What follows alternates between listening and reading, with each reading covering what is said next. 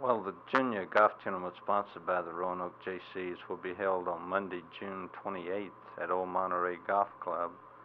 The tournament is open for all boys from the ages of 8 to 18.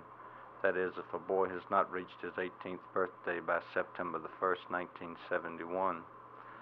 We will have different age groups in this tournament. There will be boys from the ages of 8 to 10 competing with each other, 11 to 14, and 15 to 18. The, there will be trophies awarded to the winners in each age category. In the 15 to 18 bracket, there will be an open and a novice competition there.